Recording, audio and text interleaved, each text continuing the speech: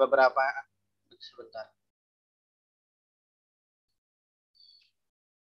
Uh, ada beberapa peristiwa yaitu perjanjian Linggarjati yang dilaksanakan tanggal 25 Maret 1947 terus ada ag agresi militer 1 dari 21 Juli 1947 hingga 5 Agustus 1947. Terus kemudian ada perjanjian Renville. Perjanjian Renville ini dilaksanakan 8 Desember 1947 hingga 17 Januari 1948. Setelah itu ada agresi militer 2 yang dilaksanakan uh, yang dilakukan pada tanggal 19 Desember 1948. Kemudian ada perjanjian Rumruyen pada tanggal 17 April 1949 dan yang terakhir ada konferensi meja bundar yaitu dari tanggal 23 Agustus hingga 2 November 1949. Yang pertama ada perjanjian Linggarjati. Perjanjian Linggarjati atau perundingan Linggarjati adalah suatu perundingan antara Indonesia dan Belanda di Linggarjati, Jawa Barat yang menghasilkan persetujuan mengenai status kemerdekaan Indonesia. Hasil per, hasil perundingan ini ditandatangani di Istana Merdeka Jakarta pada 15 November 1946 dan ditandatangani secara sah oleh kedua negara pada 25 Maret 1947. Latar belakang terjadinya perjanjian Linggarjati masuknya Afne yang dibonceng nikah yaitu Netherlands Indies uh, semacam tentara sipil Belanda ke Indonesia karena Jepang menerapkan status quo di Indonesia menyebabkan terjadinya konflik antara Indonesia dengan Belanda seperti contohnya peristiwa 10 November setelah itu pemerintah Inggris menjadi penanggung jawab untuk menyelesaikan konflik politik dan militer di Asia pada awalnya Indonesia dan Belanda diajak untuk berunding di Hogevelu yang akan dilaksanakan pada tanggal 14 sampai 15 April 1946. Tetapi perundingan tersebut gagal karena Indonesia meminta Belanda mengakui kedaulatannya atas Jawa, Sumatera, dan Madura, tetapi Belanda hanya mau mengakui Indonesia atas Jawa dan Madura saja. Pihak yang terbit, pihak yang terlibat dalam perjanjian Ligarjati. Dalam perjanjian tersebut terdapat beberapa tokoh yang sekaligus mewakili pihak masing-masing pihak. Para tokoh yang terdapat dalam perjanjian bersejarah tersebut yaitu pihak Indonesia diwakili oleh Sultan Syahir sebagai ketua, ditemu, ditemani oleh Akagani, Susanto Tirto Projo, dan Muhammad Rum. Pihak Belanda diwakili oleh Wim Sherman Horn, sebagai ketua dan ditemani oleh Max Van Pol, Hubertus uh, J. Van Mook, serta F. de Boer. Pihak Inggris selaku penanggung jawab atau mediator diwakili oleh Lord Kelleran.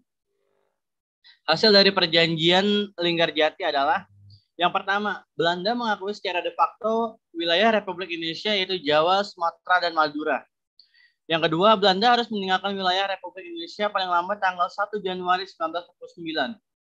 Yang ketiga, pihak Belanda dan Indonesia sepakat membentuk negara Republik Indonesia Serikat atau RIS. Yang keempat, dalam bentuk RIS, Indonesia harus tergabung dalam persemakmuran Indonesia Belanda dengan mahkota negeri Belanda sebagai kepala uni. Uh, ini merupakan peta Indonesia setelah terjadinya perjanjian Linggarjati. Nah, setelah perjanjian Linggarjati ini, Belanda hanya melaku, me, mengakui wilayah Pulau Sumatera, Pulau Jawa, dan Pulau Madura. Setelah itu, ada peristiwa agresi militer yang pertama. Latar belakang terjadinya agresi militer. Perjanjian Linggarjati yang sudah disepakati ternyata tidak membuat perselisihan antara Indonesia dan Belanda mereda di lain hal, Belanda tetap teguh pada isi pidato Ratu Wilhelmina pada 7 Desember 1942. Pidato tersebut berisi bahwa suatu hari akan dibentuk persemakmuran antara kerajaan Belanda dan Hindia atau Indonesia di bawah naungan kerajaan Belanda. Hal tersebut yang menjadi penyebab agresi militer Belanda yang pertama. Jalannya agresi militer pertama. Agresi militer dilancarkan oleh ya dilancarkan setelah Gubernur Jenderal Van Mook mengeluarkan ultimatum agar pihak Indonesia menarik mundur pasukannya sejauh 10 km dari garis demarkasi. Tentu saja ultimatum tersebut ditolak oleh pihak Indonesia. Tak hanya mengeluarkan ultimatum yang memerintahkan pasukan Indonesia mundur, Van Luck dengan lantang menyatakan bahwa Belanda tidak terikat lagi dengan perjanjian Linggarjati. Setelah itu Belanda mulai melakukan serangan dengan cepat dan mendadak menggunakan kekuatan militer yang besar dengan perlengkapan modern. Agresi militer Belanda pertama menuai banyak kecaman dari dunia internasional, termasuk Inggris dan Amerika Serikat. Kedua negara tersebut merasa kecewa dengan serangan yang dilakukan oleh Belanda.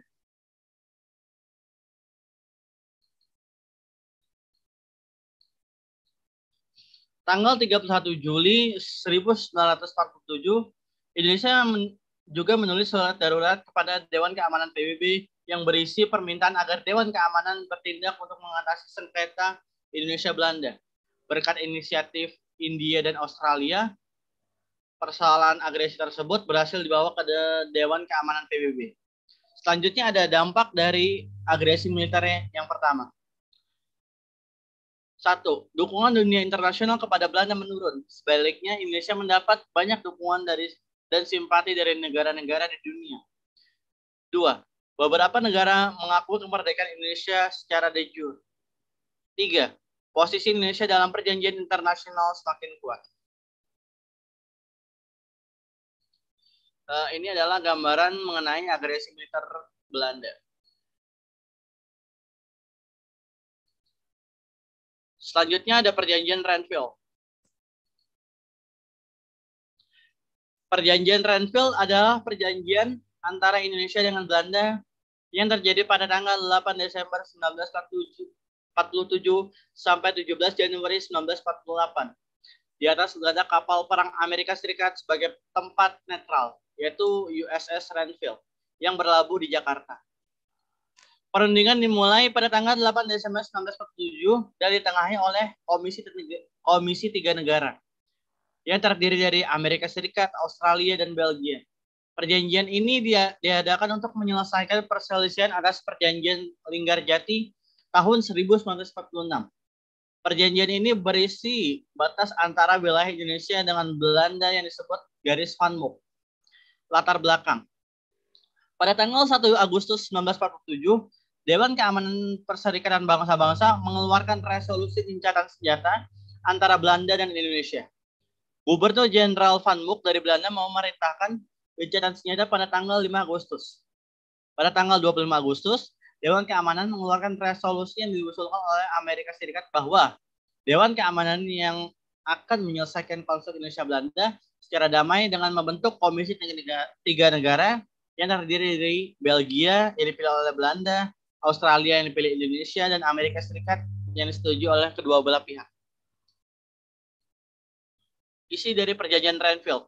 Setelah disepakati pada tanggal 17 Januari 1948, perjanjian Renville memuat beberapa persetujuan, yaitu yang pertama, Belanda hanya mengakui Jawa Tengah, Yogyakarta, dan Sumatera sebagai bagian dari wilayah Republik Indonesia. Yang kedua, disetujui disetujuinya sebuah garis demarkasi yang memisahkan wilayah Indonesia dan daerah pendudukan Belanda. Yang ketiga, TNI harus ditarik mundur dari daerah-daerah kantongnya di wilayah pendudukan di Jawa Barat dan Jawa Timur. Dampak dari perjanjian Renville. Berakhirnya agresi militer Belanda yang pertama dan disetujuinya perjanjian Renville mengubah arah perpolitikan Indonesia. Golongan kiri yang selama awal kemerdekaan ditempatkan dalam struktur pemerintahan mulai tersingkir. Tersingkirnya golongan kiri merupakan cikal bakal terjadinya pemberontakan PKI di Madiun pada tanggal 18 September 1948. Di tengah konflik yang masih terjadi antara pihak Belanda dan pihak Republik. Perjanjian Renville mengurangi wilayah kekuasaan Indonesia yang telah diakui secara de facto dan sangat merugikan pihak Indonesia. Di sini bisa dilihat uh, yang merah ini merupakan wilayah uh, Indonesia setelah perjanjian Renville. Jadi yang cuma diakuinya itu wilayah Banten. Di sini bisa kita lihat yang warna merah wilayah Yogyakarta dan wilayah Jawa Timur. Oke, selanjutnya akan dibahas oleh Kak Fatur. Silakan Kak Fatur. Uh, selanjutnya ada agresi militer kedua.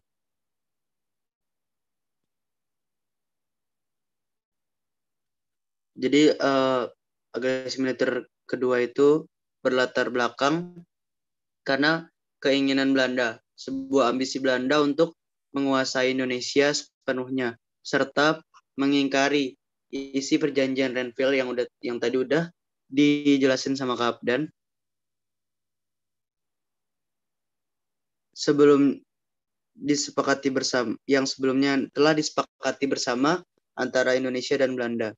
Penerapan hasil dari perjanjian Renville itu mengalami kemacetan dan membuat Indonesia harus tetap tegas dan untuk mempertahankan kemerdekaan Indonesia. Sedangkan Belanda terus berupaya untuk menjatuhkan Indonesia agar bisa kembali dijajah dengan berbentuk agresi militer atau serangan militer. Melalui bombardir pesawat di wilayah Jogja dan menurunkan beberapa beberapa tentara melalui udara. Dalam sekejap, wilayah tersebut menjadi rusak dan dikuasai oleh Belanda. Jadi uh, setelah kemerdekaan, kita tahu uh, belum sepenuhnya kita merdeka. Ada agresi militer yang harus kita tempuh, ada apa beberapa proses perundingan yang harus kita tempuh, ada beberapa diplomasi yang harus bangsa kita jalan. Jadi uh, bangsa kita nggak nggak mudah untuk mencapai satu titik yang benar-benar berdaulat gitu. Makanya ada pepatah yang bilang Indonesia itu masuk lubang buaya, keluar lubang singa gitu. Jadi uh, ketika kita bebas dari Belanda, kita masih ada Jepang. Ketika kita bebas Jepang, masih ada agresi militer gitu, teman-teman. Jadi jalannya agresi militer satu pada tanggal 19 sampai 20 Desember tahun 1948, yaitu saat Belanda menyerang Yogyakarta. Operasi tersebut dirancang oleh Letnan Jenderal Simon Spur yang menerapkan strategi serangan seperti yang dilakukan oleh Jepang saat menyerang Amerika Serikat. Kekuatan militer Belanda yang cukup besar membuat perlawanan Indonesia tidak berarti. Hanya dalam hitungan jam, Belanda berhasil menduduki Jogja. Bahkan, Belanda berhasil menawan pimpinan sipil seperti Presiden Soekarno, Wakil Presiden Muhammad Hatta, Sultan Syahrir, dan beberapa tokoh yang lain. Belanda mengasingkan tokoh, tokoh tersebut ke Sumatera. Sementara itu, pimpinan militer Indonesia memutuskan untuk melakukan perang gerilya. Jatuhnya Jogja ke tangan Belanda menyebabkan terbentuknya pemerintahan darurat atau PDRI di Sumatera yang dipimpin oleh Syafruddin Prawira Negara. Jadi kita itu sebenarnya punya presiden yang tidak tercatat dalam sejarah ya beliau namanya Syafruddin Prawira Negara. Pasukan Belanda segera melakukan operasi pembersihan pihak Indonesia dengan menangkap dan menawan ratusan orang yang dicurigai. Jadi taktik Belanda kali ini dia apa dia menahan orang-orang yang punya apa ya yang punya wibawa yang punya yang punya kekuasaan istilahnya tahanan politik ya kalau sekarang. Gitu. Jadi Belanda setelah Belanda menangkap baru Belanda bisa menguasai masyarakat.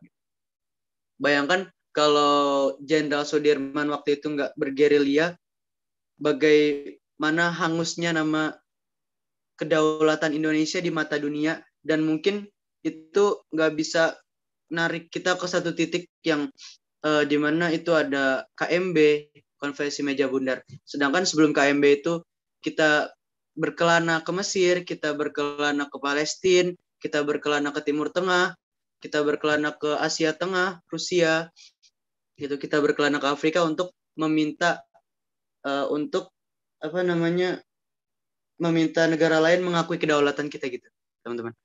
Oke, uh, bisa dilanjut.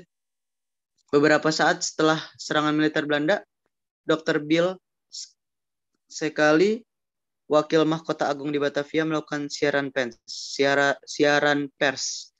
Siaran tersebut berisi pernyataan bahwa Belanda tidak mau terikat lagi dengan perjanjian.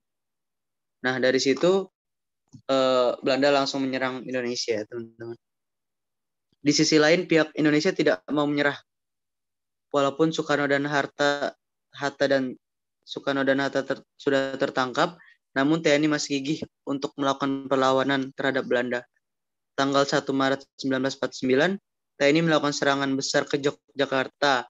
atau yang disebut serangan umum se, se, 1 Maret. Serangan umum 1 Maret itu ada tugunya di Jogja. Ada monumennya. Kalau teman-teman ke sana bisa melihat itu. Kecerdasan Panglima Sudirman ini menjadikan sebagai salah satu tokoh agresi militer Belanda kedua yang disenggani hingga saat ini. Bahkan eh, kemenangan perang Vietnam atas Amerika Serikat itu eh, dasar tokoh pemikiran perang gerilyanya adalah Jenderal Sudirman. Jadi kita bisa lihat Vietnam sekarang diduduki Partai Komunis dan menang atas Amerika itu karena mereka belajar dari perang gerilya Indonesia. Gitu teman-teman. Sekedar info aja. Baik dampak agresi militer kedua, adanya agresi yang dilakukan Belanda terhadap Indonesia yaitu mengakibatkan dihancurkannya beberapa bangunan penting di Jogja. Bahkan Jogja pada saat itu sebagai ibu kota Indonesia juga mampu dikuasai oleh Belanda. Selain itu, presiden dan wakil presiden beserta sejumlah pejabat pemerintah Indonesia berhasil ditawan kemudian diasingkan oleh pihak Belanda. Selanjutnya, baik setelah uh, bergelut dengan agresi militer kedua. Setelah itu kita mengadakan yang namanya perjanjian Rum Royan.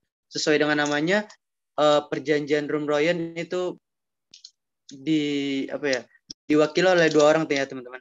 Pertama ada Muhammad Rum dan satu lagi Royan dari Belanda. Oke, tujuan perjanjian Rum Royan tidak lain adalah untuk kembali meredakan situasi di Indonesia yang sudah memanas akibat agresi militer Belanda II. Perjanjian Rum Royan terjadi setelah perjanjian Linggarjati tahun 1946 perundingan Rev 1947. Latar belakangnya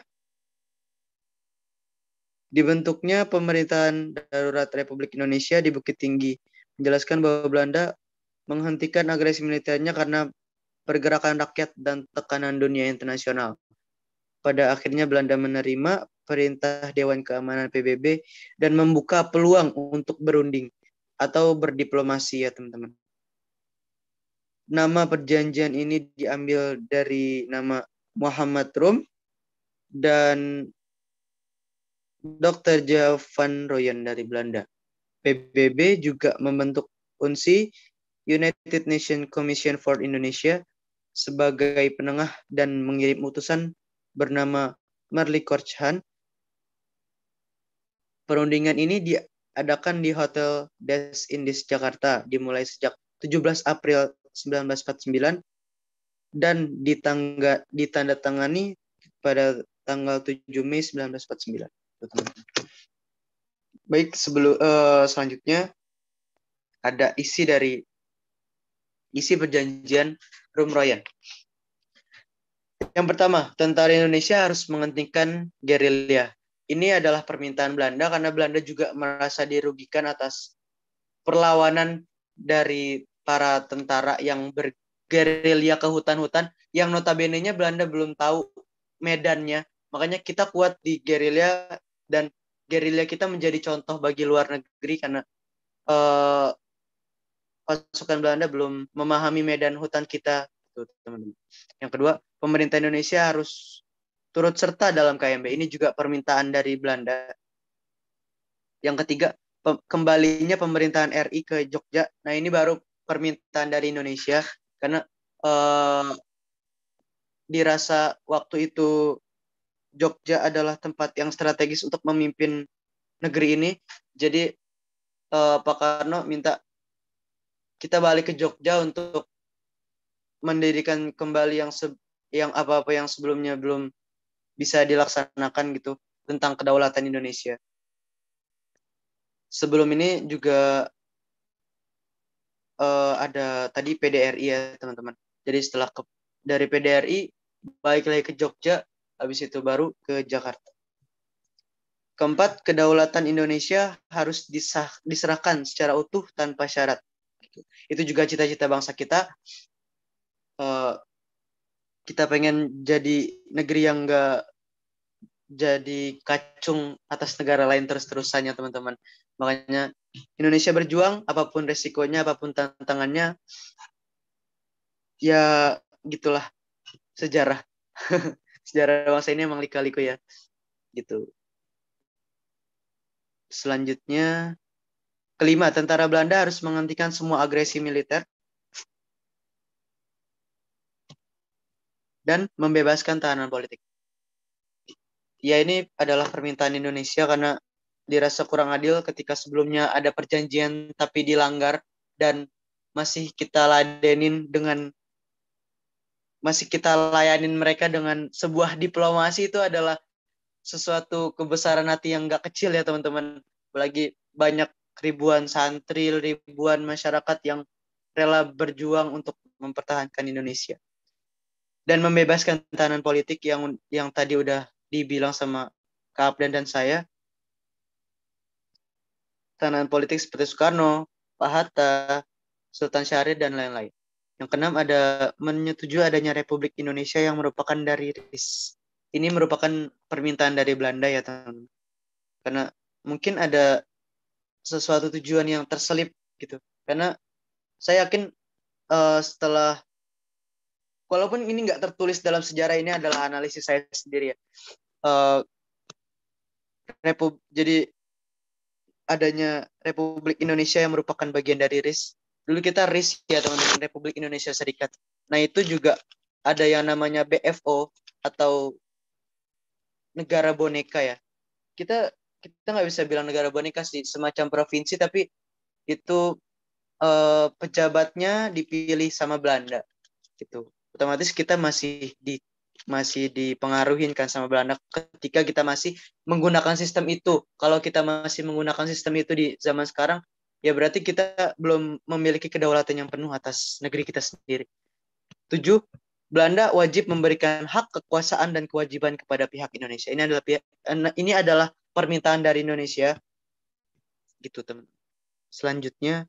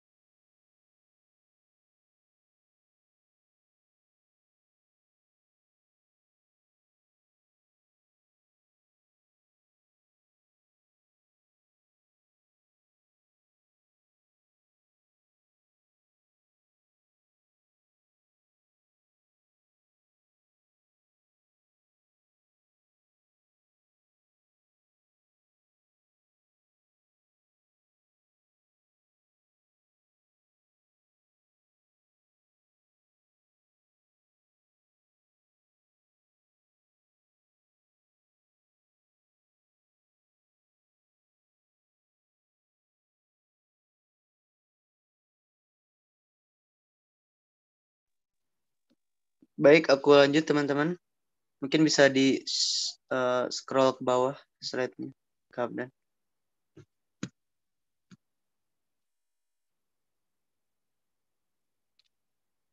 Baik, uh, berikutnya ada, adalah dampak dari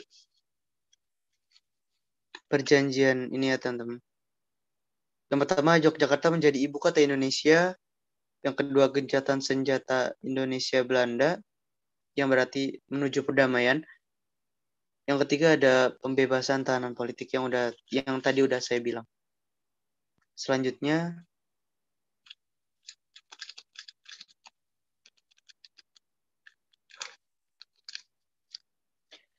Baik, selanjutnya ada konferensi meja bundar ini adalah titik puncak ya teman-teman buat mendapatkan kedaulatan negeri kita sendiri.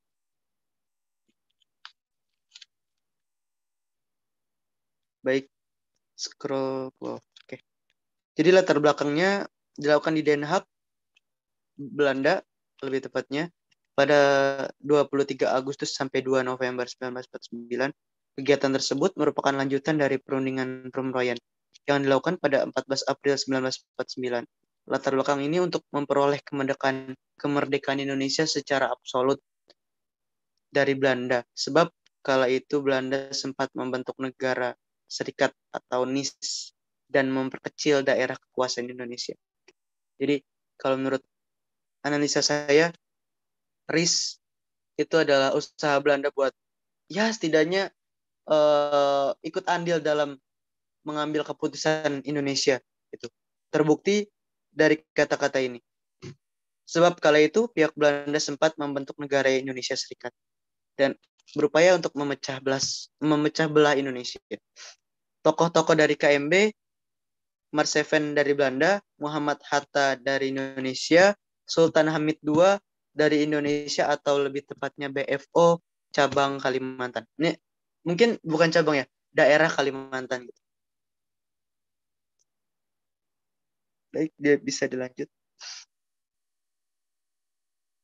Ini adalah isi perjanjian dari KMB.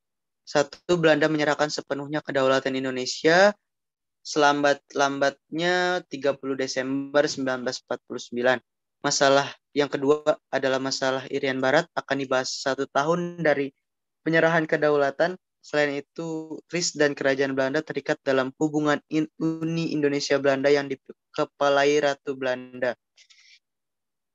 Ini nanti bakal berkaitan dengan usaha Trikora kalau teman-teman pernah baca ya. Nanti kita mengadakan serbuan ke Papua, terus usaha kita untuk lepas dari RIS yang di mana kita bakal balik ke Undang-Undang Dasar 1945 dan itu susahnya minta ampun kalau misalkan teman-teman pengen menggali lebih dalam itu seru banget. Yang ketiga, kapal-kapal perang Belanda akan ditarik kembali dari Indonesia dengan catatan bahwa kapal korvet akan diserahkan untuk kris. Yang keempat, untuk menindaklanjuti konferensi, konferensi meja bundar akan diadakan pemilihan presiden RIS pada 16 Desember 1949. Ini juga tidak tidak luput dari campur tangan Belanda. Jadi kapan sih kita benar-benar pemilihan Luberjurdil tahun 1955 itu pertama kalinya kita Luberjurdil karena tahu pada 16 Desember 1949 ini yang pastinya masih ada campur tangan dari pihak Belanda gitu teman-teman. Oke, itu isi perjanjian dari KMB.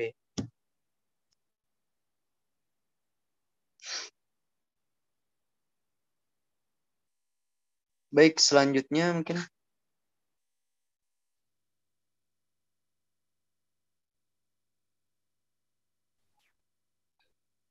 Oke, baik. Selanjutnya ada yang mau bertanya nggak? dari materi yang udah dijelaskan.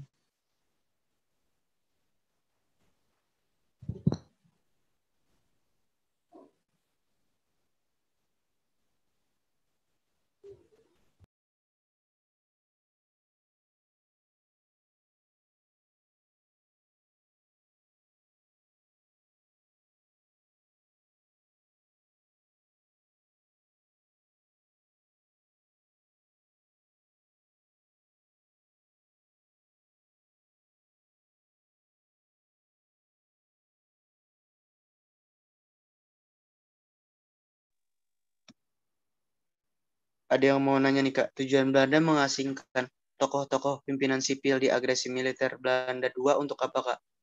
Aku aku langsung jawab ya. Ke setauku tujuan Belanda untuk melakukan hal tersebut adalah eh, yang pasti satu menunjukkan kepada dunia kalau Indonesia nggak punya kedaulatan gitu. Ketika ketika pemimpinnya kalah, maka rakyatnya pun akan jatuh gitu Stephanie dan untuk mengasingkan agar tokoh-tokoh ini nggak menyebarkan pengaruhnya untuk menyuarakan kemerdekaan Indonesia gitu. Kalau yang pernah aku baca kayak gitu. Tujuan Belanda membentuk kris itu buat apa, Kak? Uh, yang pasti buat jadi negara boneka ya Stefani. Tuh. bukan mungkin kalau setelah, sebelum RIS itu kan ada NIS mungkin itu lebih lebih apa lebih pengaruhnya pengaruh Belanda lebih kuat di situ tapi kalau RIS itu hanya kebijakan-kebijakan tertentu yang diganggu Belanda gitu karena waktu itu kita udah KMB gitu nggak mungkin Belanda berani musik lagi jadinya dia buat RIS untuk ya uh, apa ya perlahan lepas sih perlahan lepas. Cuma alhamdulillah lepas. Bayangin kalau nggak lepas itu bakal berpengaruh sampai sekarang pastinya. Izin nambahin kak iya silakan. Uh, jadi tuh kenapa Belanda membentuk RIS karena sebenarnya Belanda itu kayak berat gitu ngelebas ngelepasin Indonesia. Terus akhirnya Belanda itu membuat perjanjian yang tadi ya konferensi meja bundar yaitu Indonesia itu harus berbentuk Republik Indonesia Serikat. Karena Belanda itu kayak apa ya kayak berat banget ngelepasin Indonesia gitu. Dan akhirnya Belanda itu membuat Republik Indonesia Serikat. Dan di perjanjian sebelumnya juga ada namanya nanti RIS itu masuknya ke dalam Persmakmuran Belanda. Nanti Ratu Belanda itu sebagai kepala persmakmurannya kayak gitu kak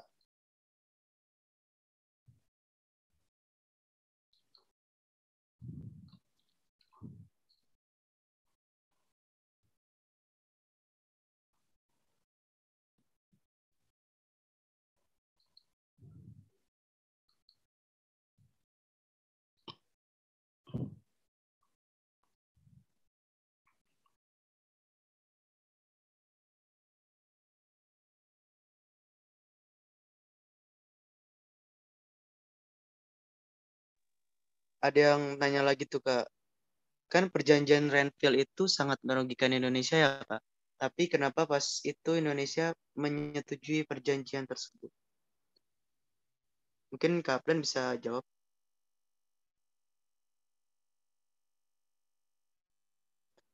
Iya betul. Supaya Indonesia terpecah-pecah gitu. Karena kan dari dulu kita kenal Belanda itu sering memakai divide et impera atau politik adu domba, politik pecah belah, pecah belah gitu Stefani.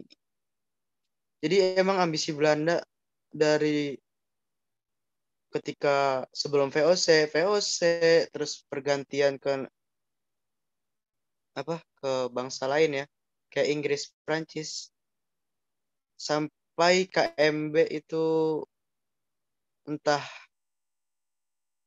kenapa Belanda selalu apa ya jadi Indonesia sebagai ambisinya. Mungkin karena kekayaan alam kita gitu. Mungkin karena orang kita dulu lugu-lugu belum berpendidikan jadi gampang dimanfaatin. Gitu Stefani.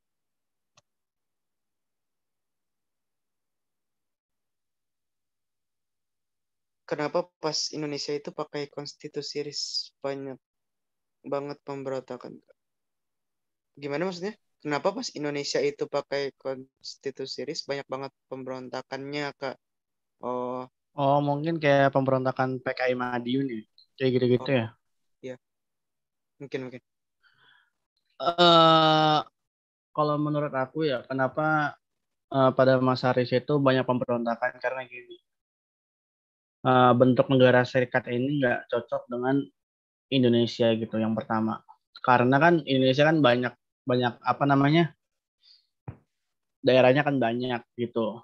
Nah di RIS ini kan awalnya kan dibentuk delapan negara bagian. Nah delapan negara bagian ini bebas mengatur rumah tangganya sendiri. Kalau sekarang namanya kan otonomi daerah. Kalau otonomi daerah sama negara bagian itu lebih lebih apa namanya lebih kuat negara bagian karena dia di negara bagian itu dia punya presiden sendiri, punya undang-undang sendiri, dan punya uh, apa namanya kayak benderanya sendiri gitu loh. Jadinya kayak negara di dalam negara gitu. Nah, akhirnya itulah yang membuat uh, apa namanya pada masa hari itu terjadi pemberontakan karena nggak cocok dengan negara Indonesia yang berbentuk kepulauan seperti itu. Akhirnya pihak yang nggak setuju dengan sistem serikat ini melakukan pemberontakan-pemberontakan gitu. Contohnya kayak pemberontakan PKI Madiun tahun 1948 seperti itu.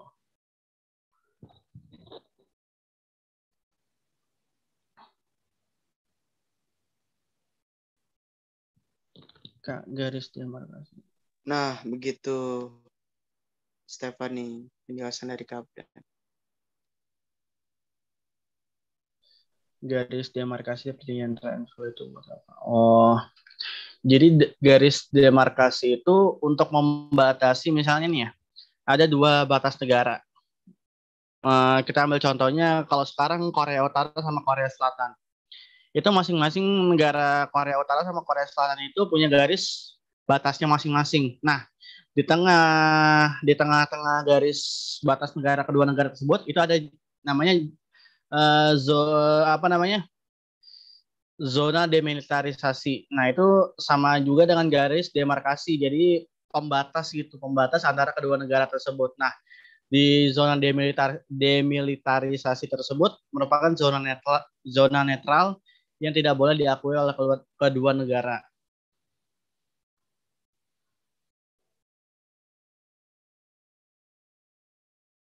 dan juga garis demarkasi ini untuk membatasi uh, antara wilayah kekuasaan Belanda dan juga wilayah kekuasaan Indonesia.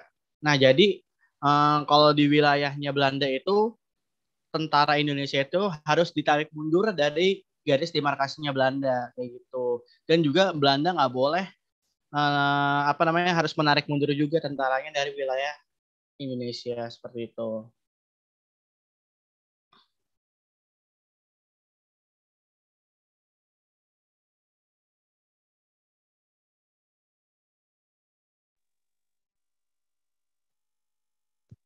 Kok kok di Indonesia mau sih cuma diakui tiga wilayah doang pas perjanjian Renville? Gini Stephanie. Uh, karena dulu kita berpikir yang penting kita nunjukin keluar negeri kalau kita tuh masih ada gitu. Jangan sampai kita nggak dapat apa-apa dari apa sama sekali nggak dapat apa-apa dari wilayah kita gitu. Itu itu satu itu. Dua kita pengen setidaknya ada yang selamat dari masyarakat kita gitu. Jangan sampai 100% diagresi militerin semua terus uh, ambruk semua tatanan masyarakatnya yang udah dibangun beberapa tahun dari tahun 45 itu habis semua gitu. Jadi karena bikin tatanan sosial masyarakat yang sesuai dengan kepribadian bangsa kita sesuai dengan Pancasila itu nggak gampang ya Stefani gitu. Jadi Indonesia pada saat itu terpaksa sebenarnya untuk uh, apa mengikuti diplomasi yang sebenarnya ngerugin kita gitu. Kalau kita lihat Renville, Karom Royan, KMB, itu Linggar Jati itu sebenarnya nggak ada yang nguntungin buat kita. Ada, coba mungkin sedikit gitu. Karena kita terpaksa untuk ngambil sikap gitu. Pimpinan kita, para funding funding founder kita pending father kita terpaksa ya wes gitu. Plus Bismillah jalan ya gitulah apa track sejarah bangsa kita gitu ya di kaliku. Jadi intinya kita para founding father kita mungkin terpaksa untuk ngelakuin itu. Dan sebenarnya bukan buat apa ya bukan buat bikin lebih buruk gitu tapi uh, daripada nggak sama sekali gitu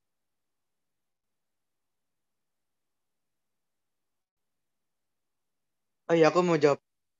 Kan perjanjian Renville itu sangat merugikan Indonesia, kan? tapi kenapa pas itu Indonesia menyetujui perjanjian tersebut? Ya itu karena kita pengen nunjukin identitas kita ke dunia internasional yang bakalan menuju ke KMB gitu kan. Jadi sebelum KMB, kita ngumpulin berkas dari negara-negara tetangga untuk mengakui kedaulatan kita. Nah, dikumpulinlah berkas, termasuk dari perjanjian Renville, kita tampung, kita ajuin ke beberapa negara tersebut. Nah, itu tadi yang aku bilang karena terpaksa kita buat ngikutin perjanjian yang sebenarnya kita nggak untung 100% gitu. Padahal kan wilayah-wilayah kita, kedaulatan-kedaulatan kita, tapi malah 50-50, 50-50 sama yang udah ngejajah kita beratus-ratus tahun lalu. Semoga menjawab.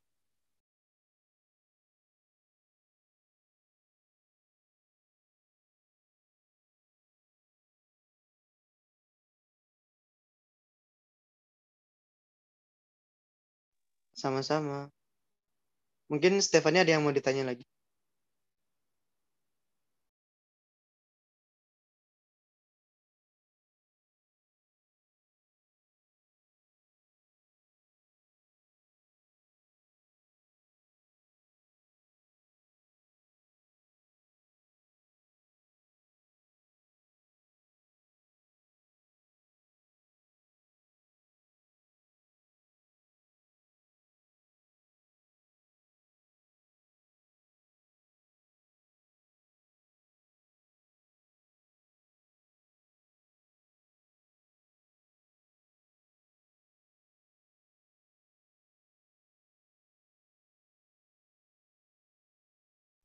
Alhamdulillah.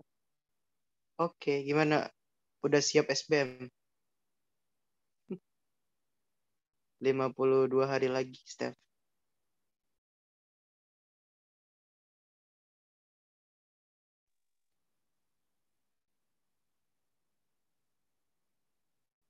Amin. Banyak doa, banyak doa.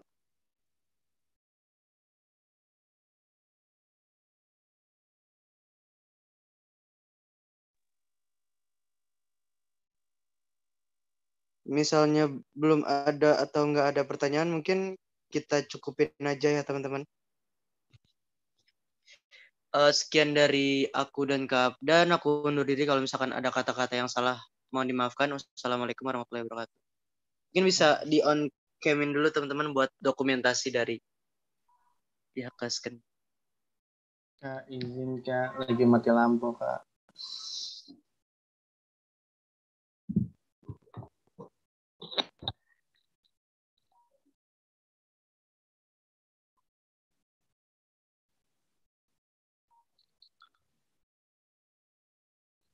Eh gelap banget sumpah. Lagi lampu. Gak apa-apa dan ini yang punya gas kan nggak nggak on cam.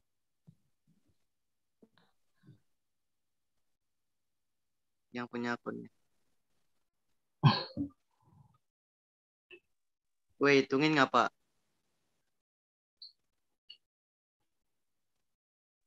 Woi, gaskan. Woi, gaskan.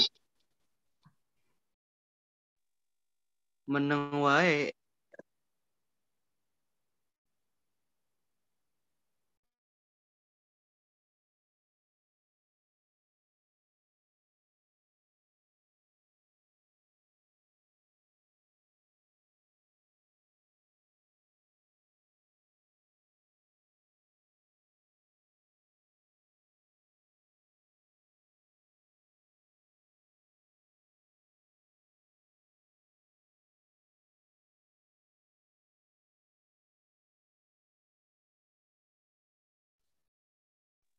Mungkin aku hitung aja ya teman-teman.